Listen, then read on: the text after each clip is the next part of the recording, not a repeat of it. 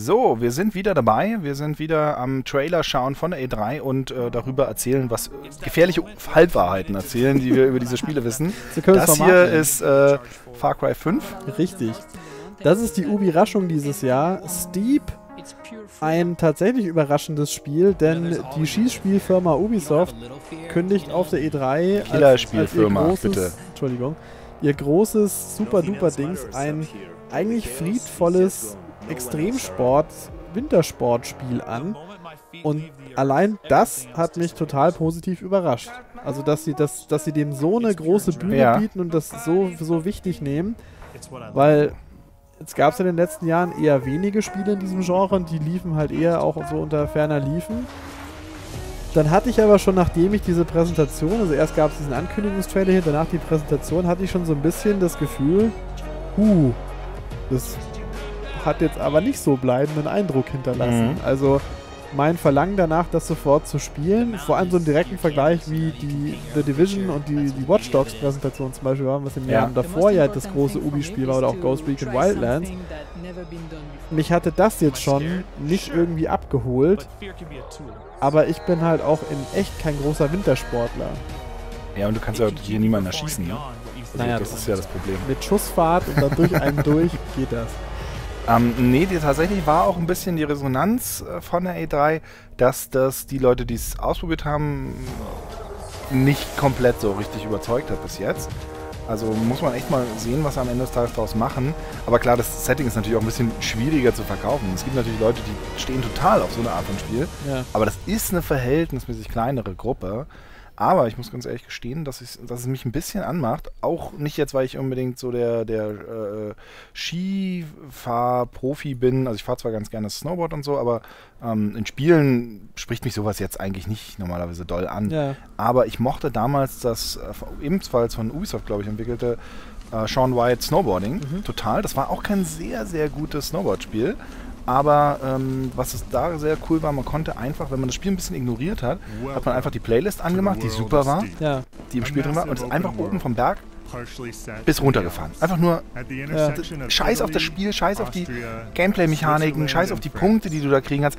Einfach nur du und der Berg und die Abfahrt. Ja. Und das hat so einen Spaß gemacht. Also ich habe quasi das Spiel ohne das Spiel zu spielen gespielt. Ja. Ähm, so wie ich ja zum Beispiel auch so total gerne Drive Club spiele. Keine Anzeige, kein, ich will nicht wissen, wie, welche Position ich in dem Rennen oder so habe. Ich will einfach nur ich und die Straße und hier ich und der Berg und geile Mucke im Ohr und runter. Und wenn das geht, dann kann ich da Stunden dann verbringen. Was mich Also, an dieser ganzen Präsentation danach, also nachdem so der, der erste Hall auch vorbei war und man die ersten Leute auch dies gespielt haben, es wird in keinem Wort erwähnt, dass dieses Spiel ein VR-Spiel ist. Also das wurde bisher nicht gesagt, dass man das in VR spielen kann. Ah, okay. Warum nicht?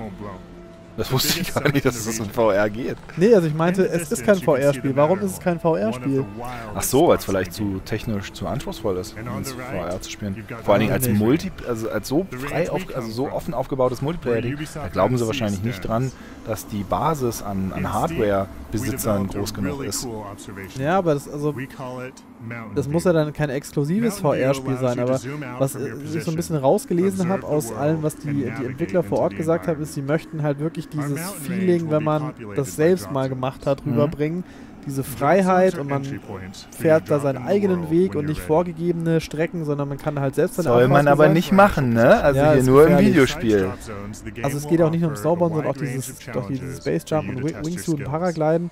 Ähm, auch gefährlich. aber das wären alles Bewegungsarten, die man mit allen VR-Kits ohne große Eigenbewegung, also du natürlich du musst stehen vielleicht, Ja, ja. aber es wäre was, wo du nicht gehen musst, Ja. sondern du stehst eben auf einem stillstehenden Ort, meinetwegen hier auch mit dem Wingsuit musst du nur den Kopf bewegen, das haben sie ja gezeigt in ihrem, äh, wie ist das, Eagles, Eagle ja Flight. Eagle Flight.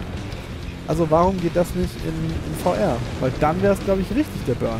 So ist es jetzt halt eher nur, man fragt sich so recht, was das, das Verkaufsargument davon ist, was es nicht bei Sean White auch schon gab. Und gerade diese Konnektivität ist für mich jetzt eher weniger so ein Verkaufs. Ja, würde mich äh, jetzt auch nicht, würde mich jetzt auch nicht ansprechen. Hier natürlich ein bisschen so die Abwechslung durch die Sachen, die du so machen kannst. Aber ich muss ja gestehen, ich bin ja, ich bin ja generell sehr skeptisch, dass VR überhaupt ein großes Verkaufsargument ist. Ja. Also da habe ich ja echt so ein bisschen äh, Sorgen mit. Ich würde das gar nicht in die PR von Spielen so krass reinbauen, wenn ich nicht ein explizites VR-Spiel hätte. Ja, Wow, und da sehen wir, liebe Kinder, warum wir das nicht in echt machen. ja. Ähm, ja, bin, bin sehr gespannt. Ich hoffe, man kann das im fertigen Spiel, die, diese ganzen Bildschirmanzeigen ausschalten. Also ich würde gerne einfach nur den Berg runter Hm. und mal ein bisschen gucken. Ich wollte auch letztens mal, es gibt so ein anderes äh, ähm, Ski- und Snowboard-Spiel. Momentan Snow heißt das, gibt es in der, ähm, in der Early Access äh, für den PC. Mal gucken, wie das eigentlich so ist, weil das Ja. auch so ein bisschen so, hm, du und allein und der Berg, mal schauen.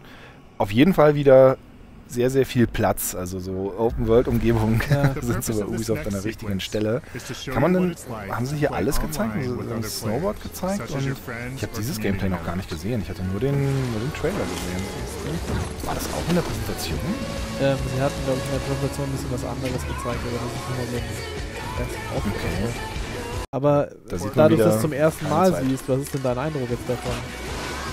Naja, ist halt ein, am Ende des Tages ist es halt ein, ein Sportspiel. Ne? Also das, das würde ich an einem Wochenende vielleicht ein paar, paar Stunden spielen, um so ein bisschen das Gefühl zu kriegen, aber dann wäre ich auch fertig damit. Also das, ich habe ja da nie diesen Reiz von wegen, jetzt muss ich hier die Punkte kriegen oder äh, ähm, da irgendwie so coole Skills entwickeln oder im Skateboard-Spiel dann alle Tricks und so können. Das würde mich nie reizen, von daher ist es jetzt nicht so, wo ich sagen würde, wow, Na, bitte geben Sie mir davon mehr. Ich nehme so mal ganz kurz parallel mein äh, Mobiltelefon raus, wenn er das kurz äh, knackt. Ich möchte jetzt kurz nachgucken. Nicht, dass ich hier Even totalen. Scheiß erzähle und das gibt es das videos, wäre nämlich noch peinlich. jump over the cliff. Aber You know it's a halt gerade das eben auch. Aus der Perspektive Skifahren und dann Ja, schon krass. Ja. rules. Share it so it becomes Hey, kann man dann Challenges erstellen, in okay. Ja, das, das äh, möchte ich auch, auch unbedingt so eine Sache. Ja, aber es ist so schlimm. Man, je älter man wird, umso mehr will man von diesem ganzen neumodischen Scheiß in den Spielen nichts mehr. Die sind, glaube ich, nicht mehr kompatibel mit dem, dem Spielemarkt. Möchte nur einfach ein Spiel spielen, wenn ich irgendwie noch tausend Challenges bauen. Das ist auch bei Mirror's Edge jetzt gerade so. Diese ganzen Zeit-Challenges, scheißegal, ich will irgendwie coole, coole Runs haben. Ich glaube, hier muss man das schon, muss man schon ein bisschen Lust drauf haben auf sowas.